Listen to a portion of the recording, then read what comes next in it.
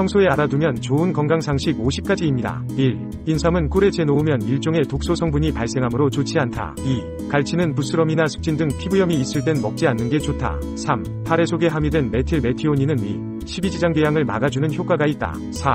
톳은 바다식품 중 알칼리 성분이 가장 풍부하지만 칼로리는 거의 없다. 5. 달걀은 쇠고기보다 더 많은 콜레스테롤을 함유하고 있다. 6. 미역은 쌀밥의 산도를 중화, 산성식품의 과다 섭취를 막는 대표적인 알칼리 식품이다. 7. 남은 음식을 보관할 때 식초물을 뿌려주면 변질을 늦출 수 있다. 8. 야채나 과일을 10초 1작은술 넣은 물에 30분쯤 담가두면 농약과 중 금속이 제거된다. 9. 볶아둔 참깨를 사용 전 한 번 더 볶으면 맛과 향이 좋아진다. 10. 돼지고기와 겨자는 궁합이 잘 맞는 음식이다. 11. 대추와 무화과 요리는 위장을 튼튼하게 한다. 12. 바나나, 파인애플, 망고, 멜론 등 열대과일은 냉장고에 넣지 않는다. 13. 떡갈나무 잎이 냉장고에 냄새를 제거한다. 14. 설사할 때는 심한 나는 주스나 콜라, 사이다 등은 나쁘다. 15. 뜨거운 술을 즐기면 식도암 발생 위험이 증가한다. 16. 튼튼한 심장을 원한다면 담배, 기름기 많은 고기, 계란 노른자, 버터 등을 제한한다. 17. 살찐 타입에게는 맥주가 안 맞는다. 18. 고 구마를 즐겨 먹으면 날씬해진다. 19. 하체 비만형은 생야채보다 익힌 야채가 좋다.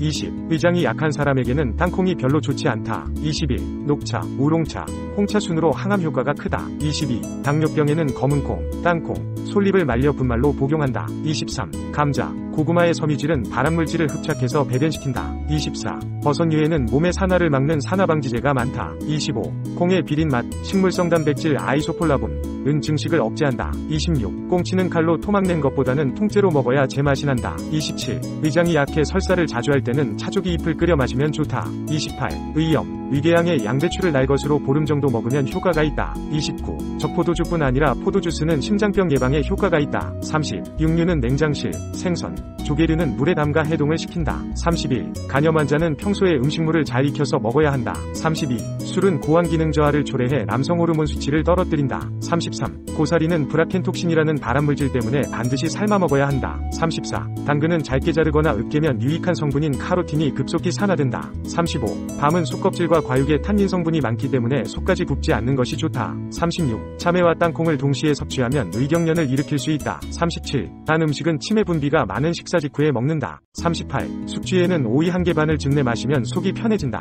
39. 폐경 여성에게는 콩, 자두가 좋은 식품이다. 40. 복숭아 과육은 담배에 니코틴 독을 푼다. 41. 식후 4에서 5시간 후에 간식을 먹으면 분해 활동에 도움이 된다. 42. 직장인의 일일 간식은 김밥 반줄, 주스 반 컵 정도가 적당하다. 43. 식후에 커피, 녹차, 홍차를 바로 마시면 철분과 칼슘 흡수를 방해한다. 44. 당근, 풋고추, 소 돼지의 간, 옥수수, 쌀겨, 미꾸라지는 유방암을 예방한다. 45. 마늘을 구워 맵기마다 3에서 5개씩 먹어라.